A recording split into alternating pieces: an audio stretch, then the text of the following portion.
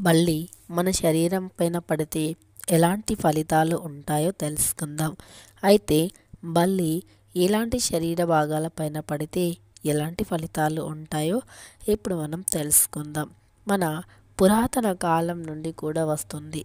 బల్లి అనేది మన శరీరం పైన పడినట్టు అయితే అది అంత శుభసూచకం కాదు అని మన పూర్వీకుల కాలం నుండి వస్తున్న ఆచారం.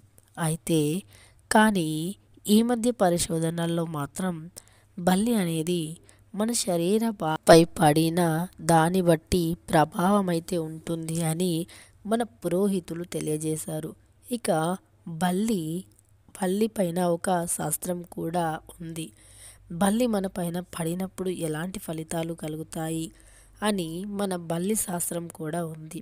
అయితే ఇక బల్లి ఇలా మన శరీర భాగాలపైన ఏ భాగంపైన పడితే ఐశ్వర్యవంతులు అవుతారు. ఇంకా ఏ భాగాలపైన పడితే మన ఇంట చికాకులు ఉంటాయి. మన వెంట ఆ లక్ష్మీదేవి రాదు అని తెలుస్తాయో కూడా మనకు మన బల్లిళ్ళ శాస్త్రంలో స్పష్టంగా తెలుపబడింది. అయితే ఇప్పుడు బల్లి మన శరీర భాగాలపైన ఏ భాగాలపైన పడితే అదృష్టం కలిసి వస్తుంది.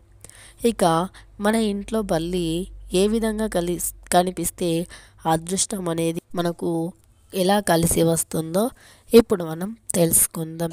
అయితే బల్లి మన కుడి భుజం పైన పడినట్టు అయితే చాలా మంచి ఫలితాలు కలుగుతాయని అధికంగా ధనం వచ్చే అవకాశం ఉంటుంది అని మన పురాణాల్లో తెలుపబడింది. ఇక అంతేకాకుండా బల్లి మన కింది పెదవి పైన గనక పడినట్టు అయితే అది కూడా చాలా మంచి ఫలితాన్ని ఇస్తుంది అని. ఇక అంతేకాకుండా శుభానికి సాంకేతం అని కూడా మన పురాణాల్లో తెలుపబడింది. కానీ బల్లి పై పెదవి పైన పడితే మాత్రం ఇది అంత మంచి శుభ ఫలితాలను ఇస్తుంది అని చెప్పలేము అని పురోహి పురోహితులు తెలియజేస్తున్నారు. ఇక మన కుడి కన్ను పైన కానీ బల్లి పడినట్టు అయితే ఇది మాత్రం చాలా మంచి సంకేతంగా భావిస్తారు. కానీ మన ఎడమ కన్ని పైన బల్లి పడితే మాత్రం ఇది అంత మంచి ఫలితం కాదు అని తెలియజేస్తున్నారు. బల్లి స్త్రీ యొక్క ఎడమ తొడపైన పడితే మాత్రం ఇది అంత మంచిది కాదు అని అంటారు.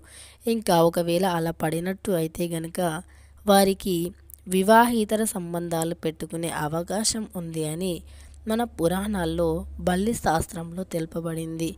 ఇక మన కుడి తొడపైన కానీ బల్లి పడినట్టు అయితే ఇది చాలా మంచి శుభానికి సంకేతం అని తెలుపబడింది. ఇక మన వే చేతి వేళ్ళ యొక్క గోర్ల పైన బల్లి పడినట్టు అయితే కనుక ఇది అంత మంచి ఫలితం కాదు అని తెలియజేస్తున్నారు.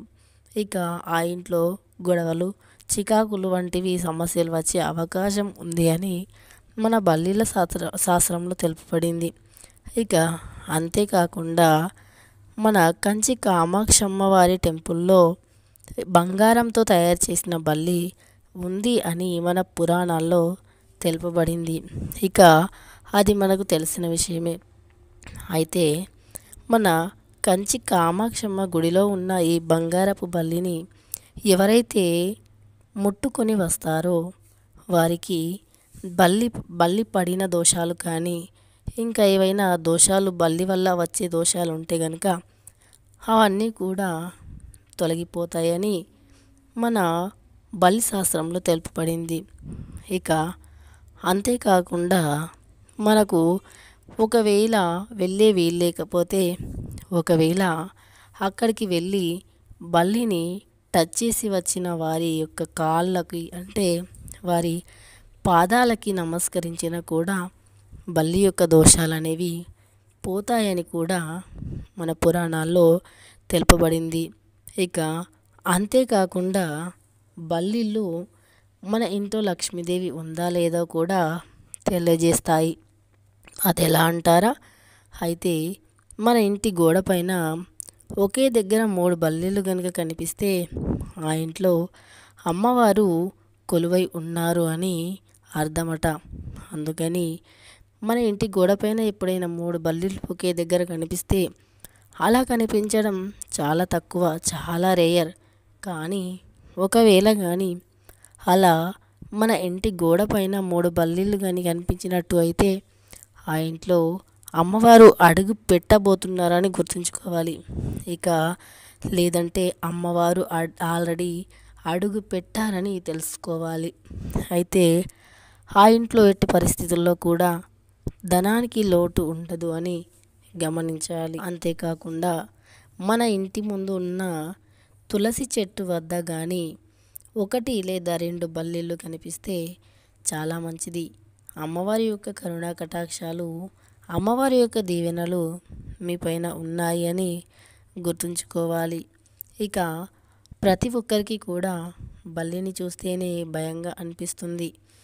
ముఖ్యంగా ఆడవారికి. బల్లి కనపడిస్తే చాలు ఇక్కడ నుండి అక్కడికి పరుగులు తీస్తారు. ఎందుకంటే దాని యొక్క అవతారం అలా భయంకరంగా ఉంటుంది. ఇక ఒకవేళ బల్లి అయితే ఒంటిపైన పడినట్టు అయితే గనక ఇక చెప్పలేనంత భయంతో వణికిపోతూ ఉంటారు. దాన్ని చూస్తేనే అంత భయపడే వాళ్ళు దాని అది మన పైన పడితే ఎలా ఉంటుందంటే చాలా భయంగా ఉంటుంది. ఇక మన ఫలితాలైతే తెలుసుకున్నాం కదా మన శరీరం పైన ఏ భాగంలో పడితే ఎలాంటి ఫలితాలు అని తెలుసుకున్నాం. ఇక మనం తూర్పు దిశన కానీ లేదా ఈశాన్యం దిశన కానీ లేదా ఉత్తర దిశ కానీ మన ఇంట్లో నుండి బయటకు వెళ్ళేటప్పుడు బల్లి గాని శబ్దం చేసినట్టు అయితే ఆ ఇంట ఐశ్వర్యం అంతు చిక్కకుండా వస్తుంది అని మన పురాణాల్లో తెలుపబడింది. ఎట్టి పరిస్థితుల్లో కూడా ఆ సమయంలో ఖచ్చితంగా డబ్బు అనేది వచ్చి తీరుతుంది అని మీకు రావాల్సిన ధనం అయితే అంది తీరుతుంది అని మీ ఇంట్లో. అది ఏ మూలన ఏ రకంగా అయినా సరే డబ్బు మాత్రం వస్తుంది అని మన పురాణాల్లో తెలుపబడింది. అర్థమైంది కదండి? మీ ఇంట్లో నుండి తూర్పు దిశన కానీ ఉత్తరం దిశన కానీ లేదా ఈశాన్యం దిశన కానీ మీరు ఇంట్లో నుండి బయటికి వెళ్ళే ముందు బల్లి అరుస్తే గనక చాలా మంచి ఫలితాలు ఉంటాయని మన పురోహితుడు తెలియజేస్తున్నారు. ఇక చాలా మంచిది అని తెలుసుకోవాలి. ఇక మనం ఏదైనా మాట అన్నప్పుడు బల్లి కానీ పలికితే సత్యం అంటారు. అంటే మనం ఏదైనా మాట నోట్లో నుండి వచ్చినప్పుడు బల్లి కానీ పలికినట్టు అయితే ఆ మాటకు తిరుగుండదు అని మన పెద్దల నుండి వస్తున్న ఆచారం. అందుకని బల్లి పలుకుకి అంతటి ప్రాముఖ్యత ఉంది. కాబట్టి బల్లి అనేది మనకు ఏదైనా మాట అన్నప్పుడు పలికితే ఆ మాట ఖచ్చితంగా జరిగి తీరుతుంది అని గుర్తుంచుకోవాలి.